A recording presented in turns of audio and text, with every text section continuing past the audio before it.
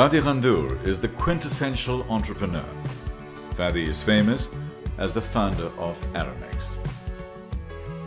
He has now reinvented himself as the executive chairman of Wamda Ventures, a new VC fund focusing on technology investments in the Arab world. Amongst his other notable roles and positions that he holds currently includes the managing partner for MENA Venture Investors, board member for Branch Capital and Endeavor Global. He's on the advisory council of MIT's Media Lab, a board of trustees at the American University of Beirut, founding investor of Maktoob.com in 1999, which was subsequently sold to Yahoo in 2009 and started the digital revolution in the region. He's also the chairman of Ruwad, an equity based fund for micro businesses and micro entrepreneurs. He is a graduate from George Washington University. Good afternoon. Good afternoon, ladies and gentlemen.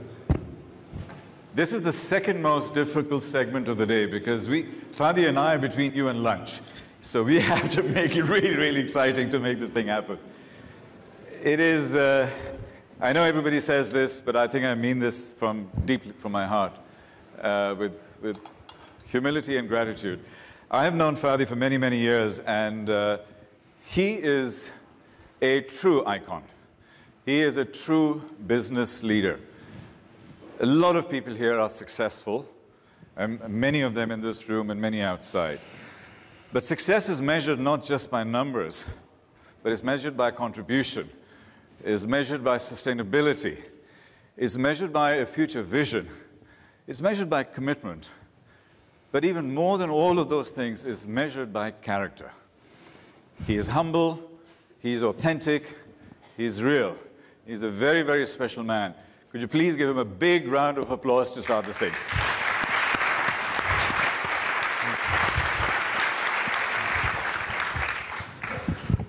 Now you have to live Thank up you. to all of this. I'm, I'm, I'm, I'm going to try. Absolutely. Depends on the questions. The questions are easy. We sometimes, I see you as a revolutionary, as an activist, as somebody who's ready to shake, shake the tree. Do you see yourself like that? Absolutely.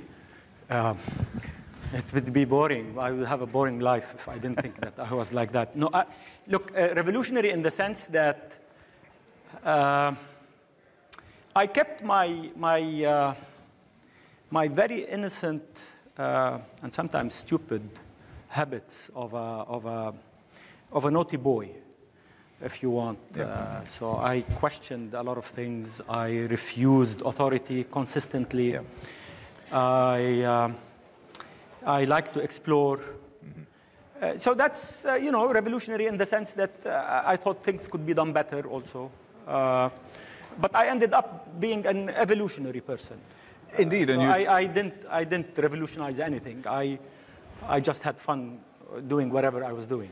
but you're changing the, uh, the landscape, you're changing the startup landscape, uh, you're inspiring young people through your activism and through your, your, your authentic uh, uh, effort in this space. So I'm, I'm a believer that you uh, role models are essential, and uh, role models have a job uh, to actually go out and and uh, shake things up. You have a duty to do whatever you're doing, specifically if you have actually. Uh, well, felt that you have achieved something, that you have a message, that you have a story to tell.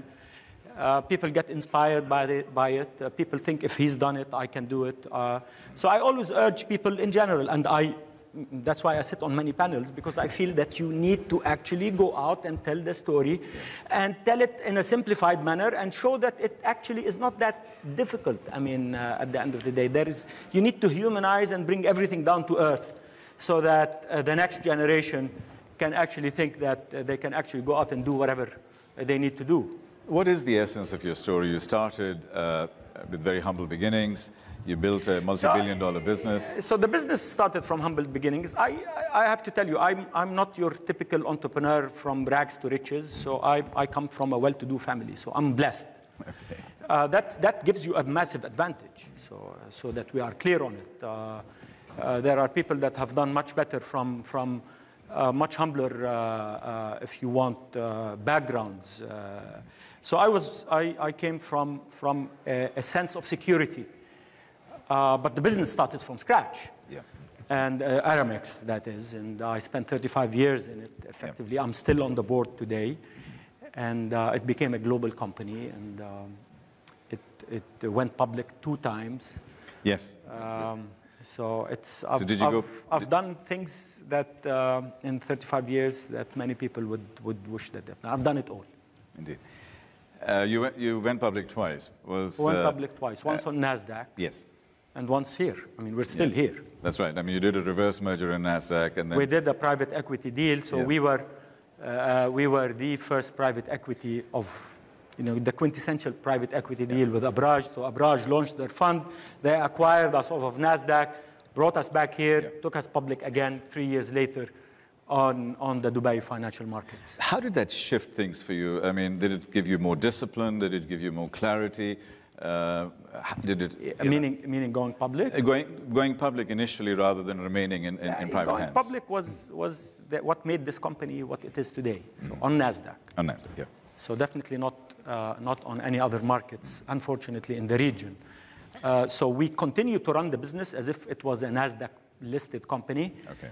And uh, so the transparency, adhering to SEC standards, I mean, it made the company. I- I- the discipline, the reporting, the disclosure, uh, the governance uh, was a massive lesson for us. And you got, you you learned by fire because once you're public in the US, you, you, you I mean, you're, uh, you'd better be very careful. And, and because most of our investors were also uh, funds from the US.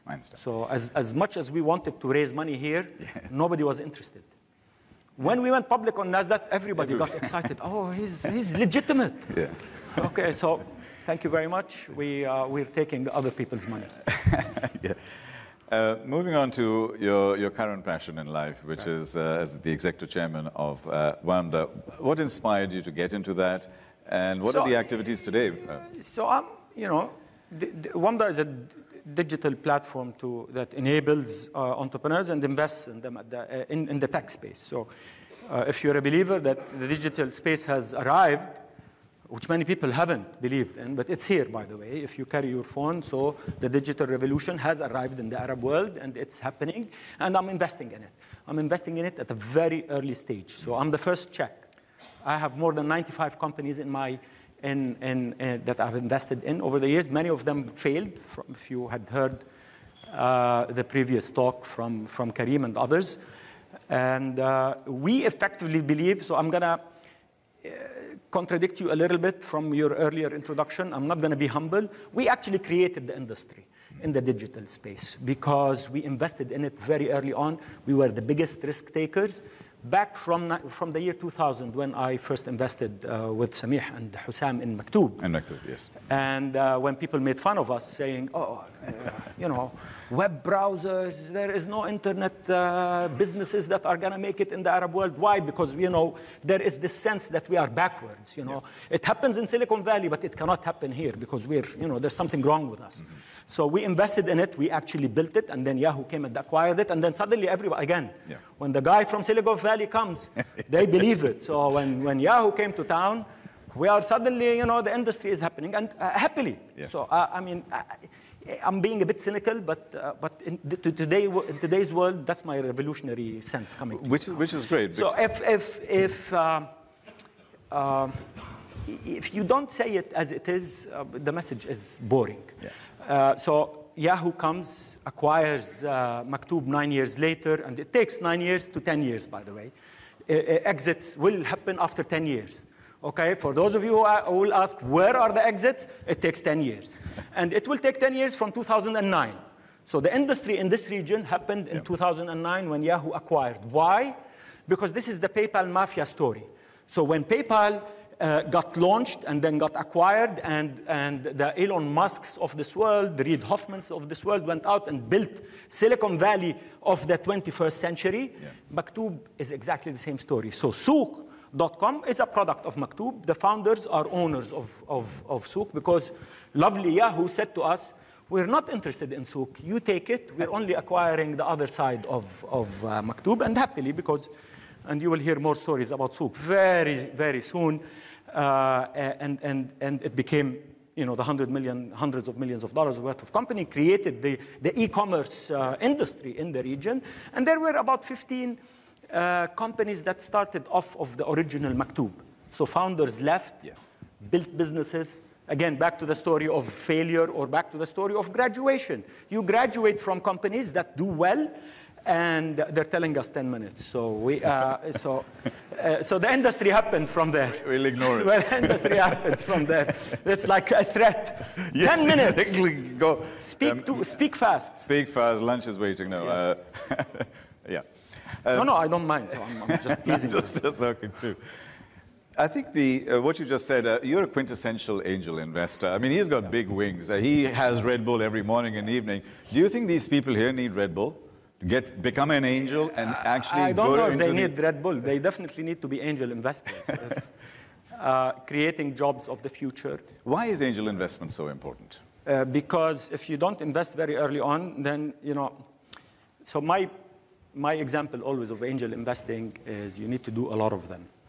Uh, and it's like if you don't have babies, you're not going to have adults. Okay? So it's not, you know, there are no miracles in this. There's a bio- biological story to it. You need to get married, you need to have a baby, Yeah. and then that baby becomes an adult and does whatever he does. So it's Yeah. the same thing in, in, in startups. You need to invest in a lot of baby startups so that you can have the souks or the Amazons or the Maktoobs. Or, uh, so the base is massive. Yeah. The base is massive. There are thousands, literally. We alone, as a fund, saw about 700 companies last year, interviewed Yeah. for investments. We ended up investing in about 10 last year from these 700. But it's, it's, uh, somebody needs to give them that first check so that you can validate that idea, whether it makes sense or not, or to get them to fail. Because in failure is where we learn. I mean, Silicon Valley is the story, and then again, back to failure.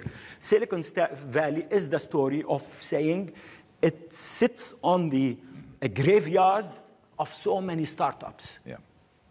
so many startups. And, and today's boom in, in, in the world of the digital economy sits on the bust of 2000. I mean, most of these startups, uh, either uh, founders either came back in many different phases, in many different, and but with experience under their belt. And there's nothing better than actually tinkering and failing Uh, uh, than, than to build the next business or the third business. So I would always invest in a failed entrepreneur in his second startup. Right. Because he's, he must have, have, have had that. He's, he must have seen the road. One of my definitions of failure, uh, I use the five F's of failure: fail fast, fail forward, fail frequently, fail frugally, and all. And failure is not fatal. Is that something that Failure our- is a journey of learning. of learning? So If is you- that if something you we take need to absorb? But it's not only absorb. I mean, if you take failure as a journey to, uh, I mean, if, if you think of not making it as a journey in your first round as a journey of learning, then, then it's not going to be called failure. It's going to be called a journey of learning. Yes. And then we destigmatize it. Yeah. And then take the cultural uh, threats of it. Because they tell you the Arabs are risk averse.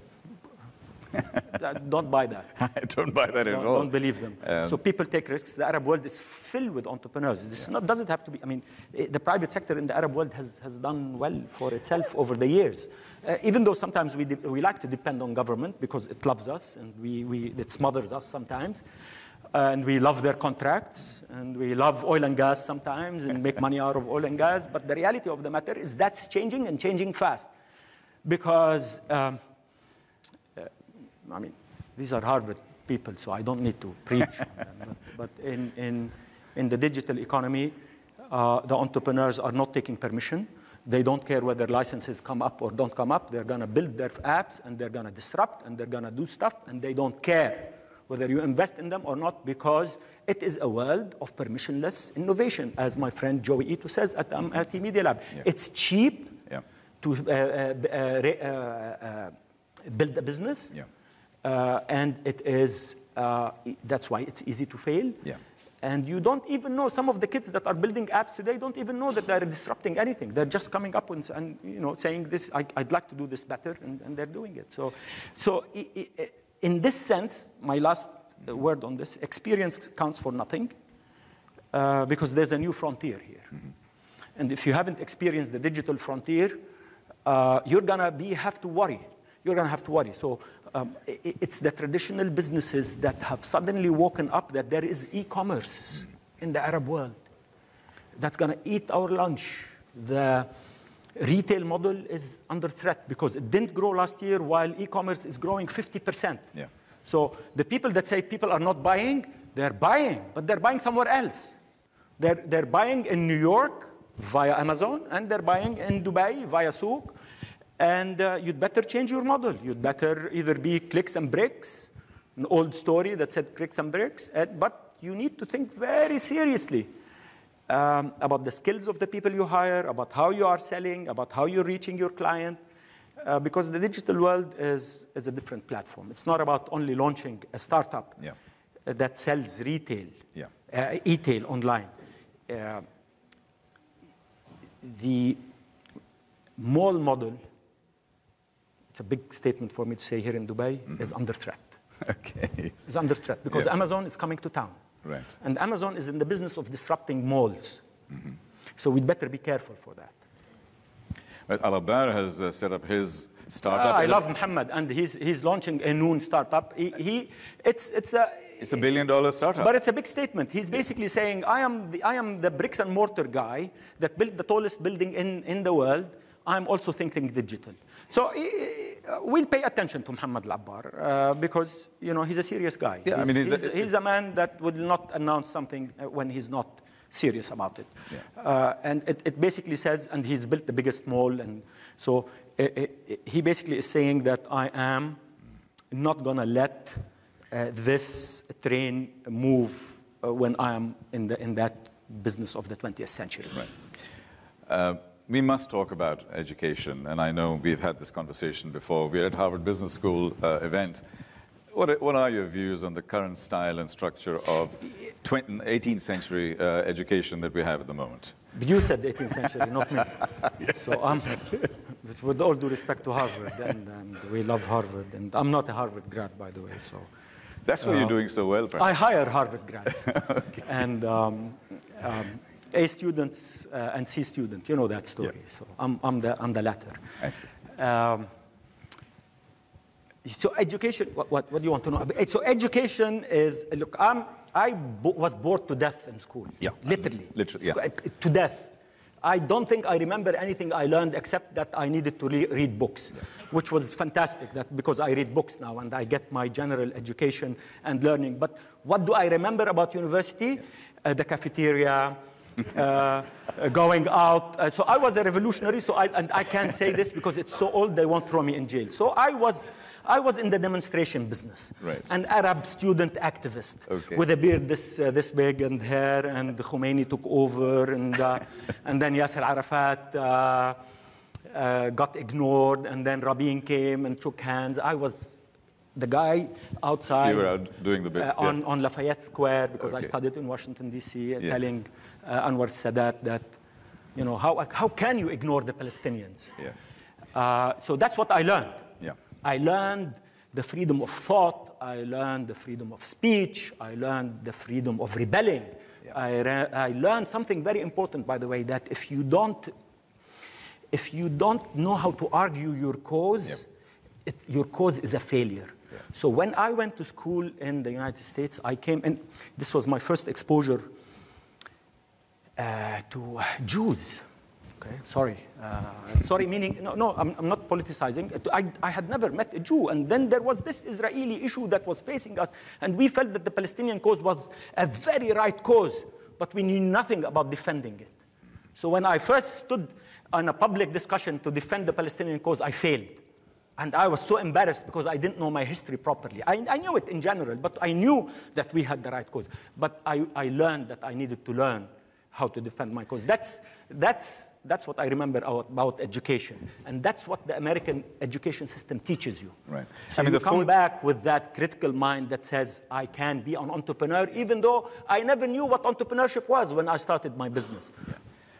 So you need that open mind, uh, critically thinking, uh, challenging, uh, uh challenging the norms, challenging the, the, the current status So the Uh, four That's what an entrepreneur is. He's a challenger of the status quo, Yeah.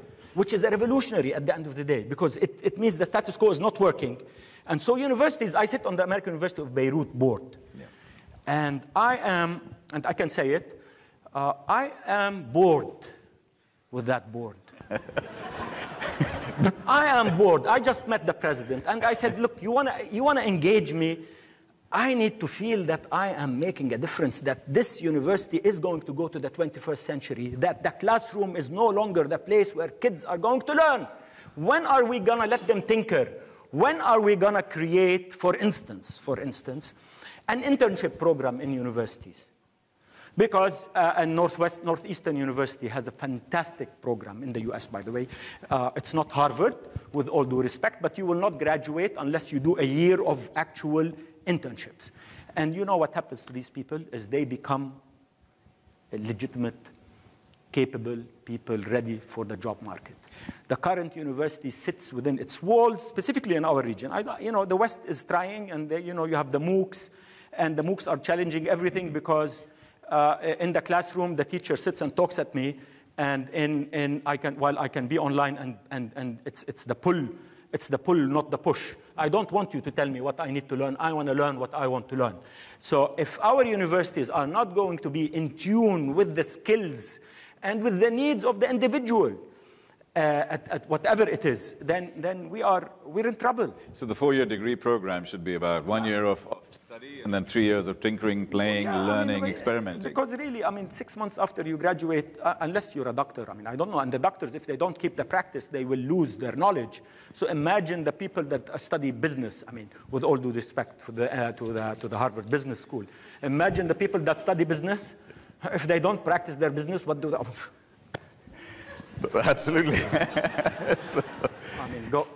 So from, uh, you spoke about... you learn nothing. Yeah. I- You learn nothing. You learn discipline, which Right. is important. And critical thinking. But, but I don't know if you're ready for the job market. Yeah. Uh, the beauty about the Harvard Business School is its incredible network. Yeah. It gets me jobs. what I love about the announcements of some of the big companies in the US today is that they are taking away from your CV where you graduated from.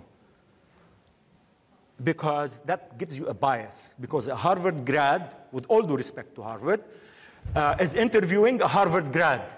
And I come from George Washington University. Who's gonna, who is he going to employ? The stupid GW grad or the Harvard grad?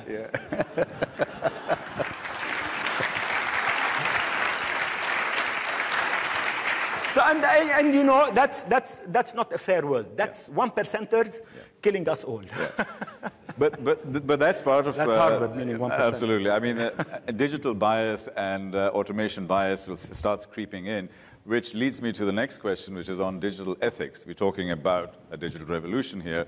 Wh- what are we looking at in terms of having digi- digital ethics, bioethics, Di- and all of those digital elements? ethics meaning uh, having respect to the person that you are tweeting about as if he is standing next to you? No, I, I, that's just, just Uh, good. or are you talking about uh, uh, Trump and his tweets? I'm talking about Trump in the streets. No, because that's fake news. that's fake news indeed. No, no. What I mean by digital, you, we're going into big data. We're the best going thing into, about this is you can talk about Trump here and nobody does anything. yes, exactly. Let's talk about Trump. I'm, I'm pushing my luck. No, no, no, let's not. he will tweet about us, so let's not do that. One of the key things uh, on, on the digital ethics part, which I'll be talking about later, was that big data is becoming bigger and bigger, and artificial, So artificial intelligence, is becoming so powerful that what we are doing on a day-to-day basis is going to affect us. So you're supporting the digital environment in our region. Uh, Are we actually aware and conscious and cognizant of We'd this better kind be. of fear, uh, of this kind be. of risk, rather? We'd better be because we live it, we, we experience it every day, by the way. Even if you buy on Amazon today, you will get a recommendation from Amazon that says, you bought this, why don't you buy this and do that? And then on Facebook, if you search for a product, suddenly Facebook starts telling you, here, why don't you buy this? And it's like, and they used to have, they used to hear your voice at the end of the day. We're done, by the way. And, uh, and so, Uh, so digital ethics is like wh- what sort of jobs do we have in the future? Is artificial intelligence and, and robotics are gonna uh, are gonna take over uh, people's jobs? Is machine learning going to be doing all sorts of things? Yes, there are there are businesses that are going to be challenged and uh, and challenged big time uh, because because of it. But there are other jobs that are going to be created. So Careem, even though they're talking about driverless cars, it, it will are have 180,000 people maybe in their uh, in their driving uh, in their captains. They call them captains in Saudi Arabia.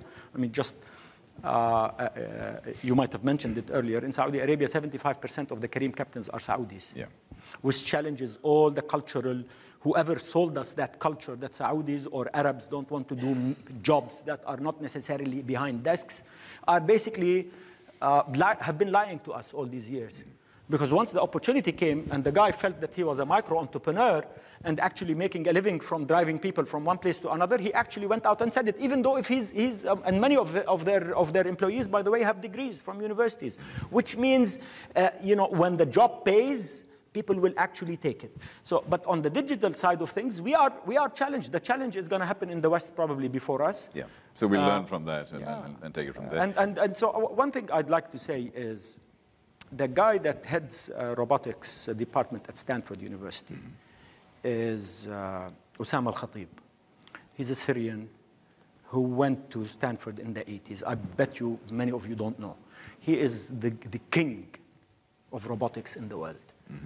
And he is, I just saw him recently at Stanford, and you should go to the Stanford robotics lab. We, we need to be, it's a big challenge. Yeah. Uh, what happened, what's happening in robotics, and, and, and coupled with machine learning and coupled with artificial intelligence. I'm not a techie as such, I invest in tech. But that's space that uh, one needs to really worry about. Yeah. Let's open uh, to a couple of questions. I have one final question with you, and we will end with that. A couple of questions, please. Well, thank you very much. I, I need you to identify yourself, please. Uh, Dr. Mariam Al Swedi. Uh, I'm a loyal customer to Aramex. You are, you are from, from the Emirates? UAE, yeah, UAE. I'm a loyal customer for Aramex. Loyal? Good. Yeah. I hope For- they're loyal back to you. Yeah, that's the question. Uh, okay, I'm a regular user of Shop and Ship. Yes. I, I was voted number three in Abu Dhabi, so you Number better three, be buyer on Shop and Ship? Yes. Oh, e-commerce is happening. Yes. Well, I enjoy um, shopping at home. I find it more relaxing.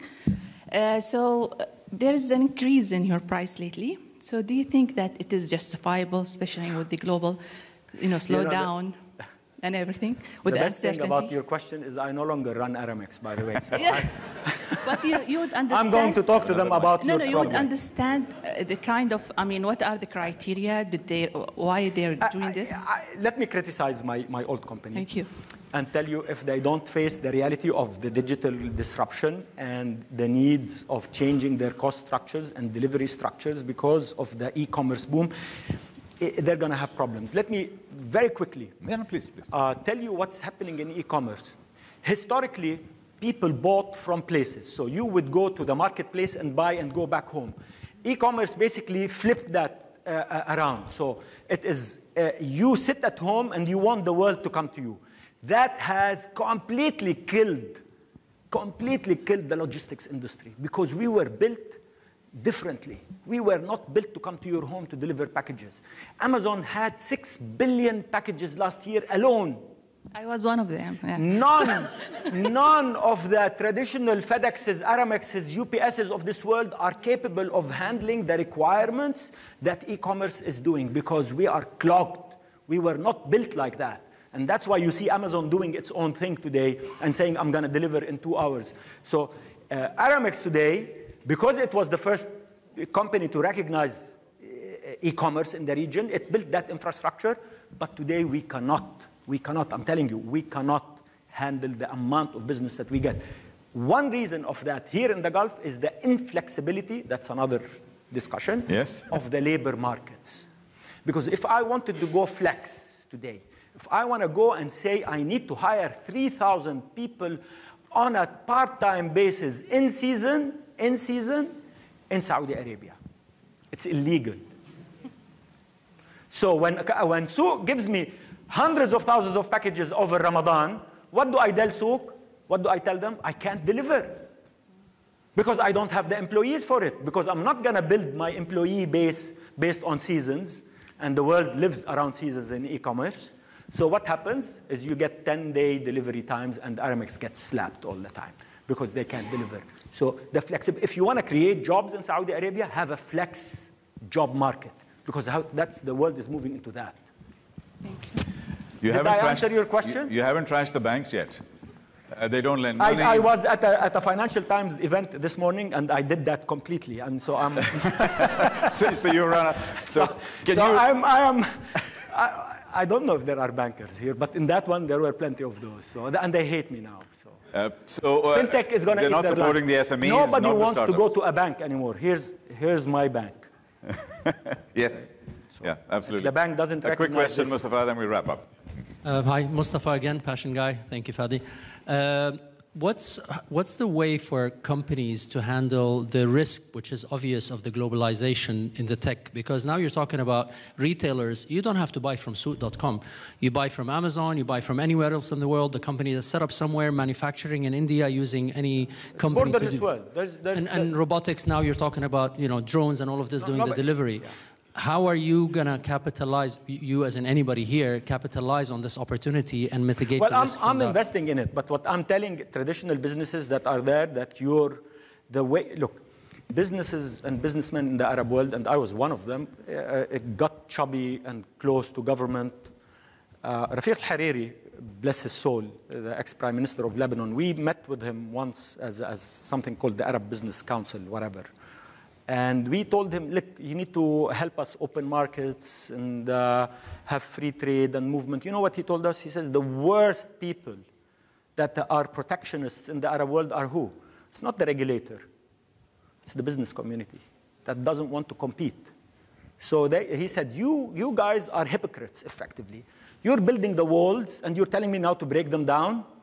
If you want to compete, go improve your products effectively and compete with the global products. So what the digital economy is doing to all of us, and God bless Amazon and the rest of them, is that they're getting us to shape up. We either sell with them, we either improve our products because no one is going to protect us. The world is, uh, despite Trump's wars, despite Trump, uh, you know, global trading wars, and he's just stopped airlines from flying to the United States by, by creating this false impression that if you ship, uh, if you have your iPad with you, then everything is danger. That he doesn't want Emirates Airlines and Etihad to fly to the US. That's, that's his protectionism. Despite that, despite that, despite that, eh, eh, uh, and, and, and look how they got scared from the, the competition that comes from the Arab world.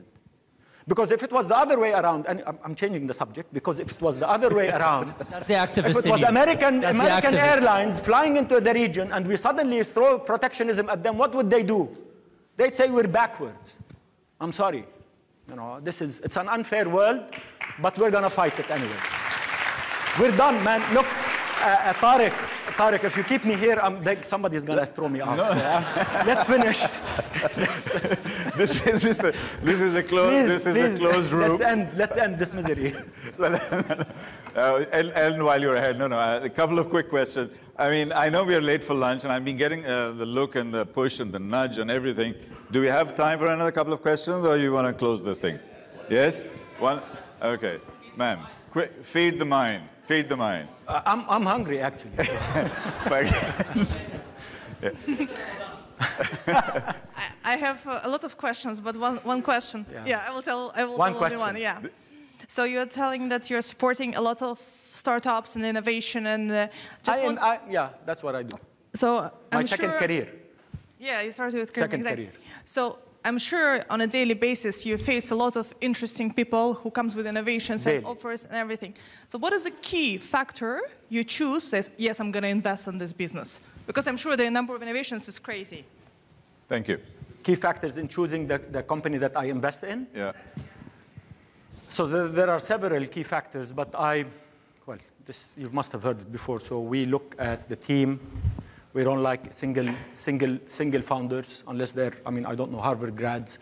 Um, uh, we that was not serious. So uh, uh, we, we like teams. Uh, we like to see their traction. Uh, we like clearly to see their passion. If he starts talking to me about exits, I'm not going to invest in him because I have zero interest in anybody thinking of his exit. I like entrepreneurs who are building businesses. I'm in the exit business because I'm, a, I'm an investor, so I need to exit. But the entrepreneur does not need to think exit. So I, I look at character, I look at grit, I look at his understanding of his place, I look at his passion. Is he, does, he, does he really want to do this? Does he get the industry he's getting in? I mean, the guys, I, I like to talk about Careem.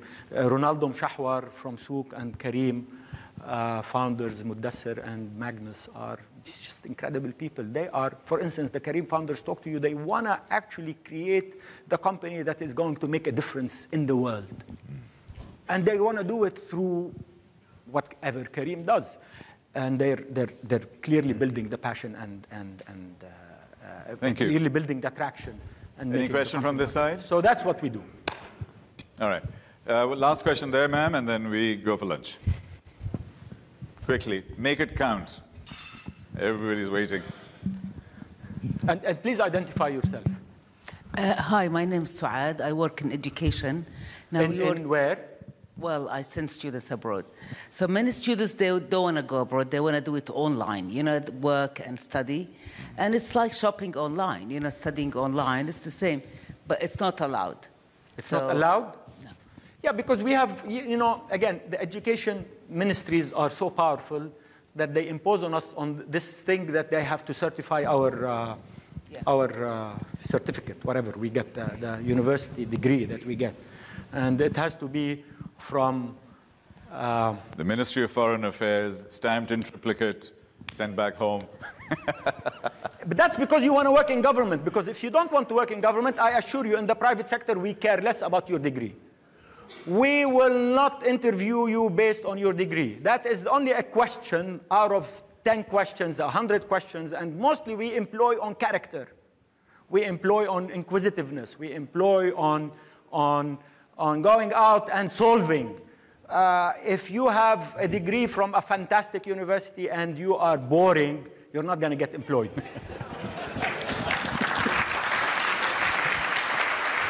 Finish. My,